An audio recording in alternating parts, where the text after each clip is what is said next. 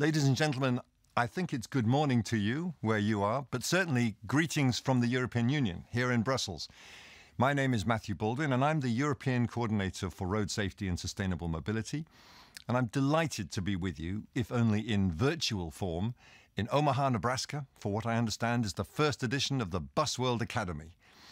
My apologies if the joke has already been made or indeed banned, Busworld Academy does sound a bit like a Steve Guttenberg sequel to Police Academy, in which case this video of mine is going to be by far the dullest part of the movie. In any case, that joke seriously dates me. But I am very pleased to be able to say a few words about the crucial dimension of safety, and I want to take a bit of your time to tell you about the European Union's approach to this issue. Each year, 25,000 people die on Europe's roads. And I want you to think about three extraordinary things about that number. First, that we accept what is patently unacceptable. It's the equivalent of two fully loaded passenger planes crashing each week in the EU with the death of everyone on board. No one would accept that level of death these days in the air, and we shouldn't accept it on the roads either. Part of the problem, in fact, is that we persist in talking about these deaths as accidents when you know, as if they're things that just happen, when we know what needs to be done to prevent them. Second thing, that even with 25,000 deaths, we are the best in the world at road safety. We are somehow top of the grisly league table of road deaths, or bottom of the league table. I hate to point it out, but expressed in the standard definition of deaths per million of the population, the US is more than 20% worse than our worst performing member states, Romania and Bulgaria. But we're not proud of our numbers in the EU. Only in road safety does 25,000 deaths put you at the top of the league. Thirdly, even with 25,000 deaths, we've improved a lot over the last 50 years, coming down from over 200 per million in 1972 to below 50 per million last year. But boy, do we still have a lot of work to do. Going by bus is one of the safer ways to travel by road in Europe. Collisions involving buses account for less than 1% of all road fatalities, and buses are involved in just 2% of all fatal crashes.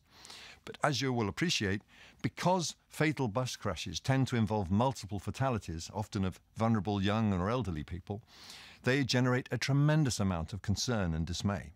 I'm thinking, for example, of the absolutely terrible crash of a bus with Belgian schoolchildren in a tunnel in the Swiss Alps in 2012, which killed 28 people including 22 children. So it's understandable that bus safety is as important a topic for us here in Europe as it is for you in the US, and a key part of our overall safe system approach, sometimes known as Vision Zero. As the name implies, this is about committing to achieve zero fatalities on the roads by 2050, with, in the European Union, an interim target of reducing our death numbers by 50% by 2030. Again, I think we need to break out of our preconceived notions here. Sometimes we talk about 90% of fatalities being caused by driver error. This is quite wrong. It generates this sense of powerlessness, of inevitability in the language that we use.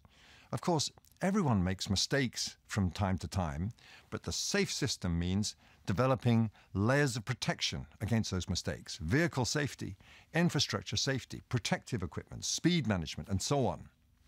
Remember, no one needs to die from mistakes on the road, and no one should die, even if a crash occurs.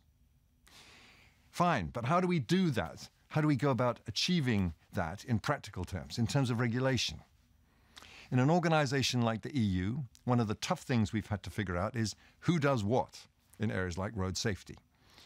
Road traffic law remains for member states. For example, what speed limits to set, how to enforce them, what fines to levy.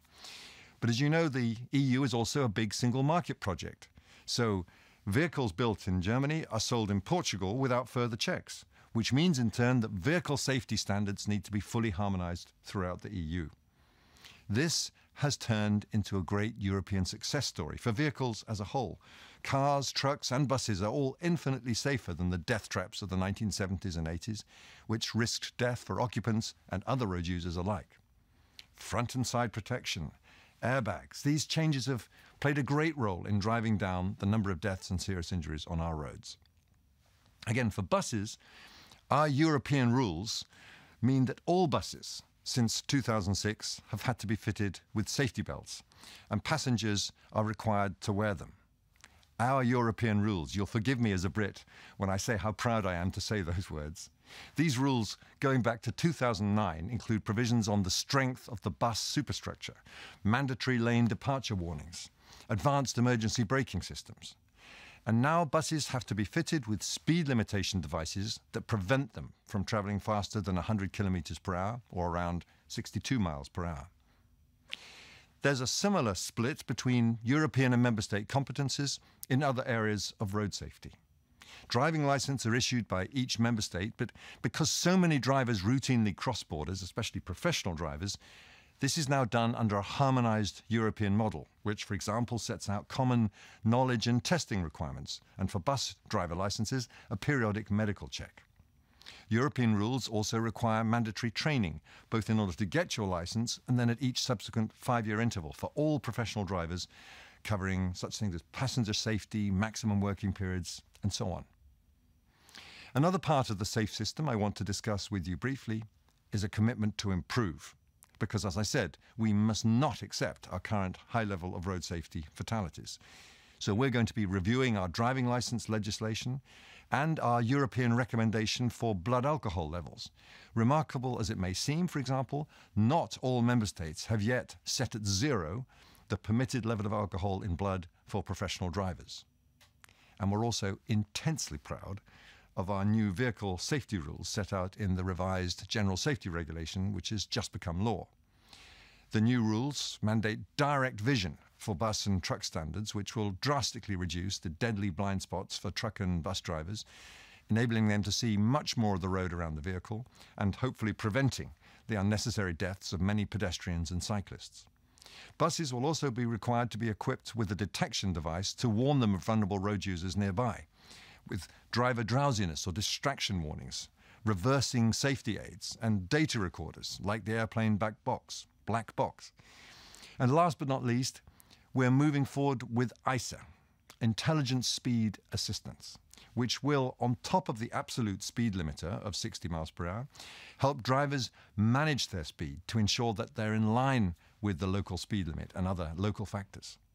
The time is not long in coming, in my opinion, before we have non overridable speed limiters on all vehicles, particularly in the coming age of automation.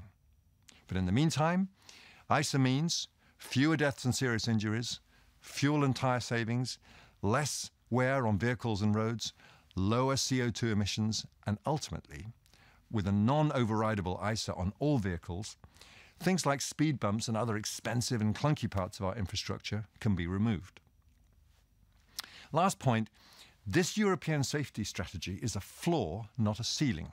In London, for example, for the purchase of new buses by TfL, Transport for London, they've brought forward rules to require non overridable ISA to be fitted to all new buses since 2018 as part of an ambitious overall bus safety standard, proving just one more part of the SAFE system, namely that we can learn from each other.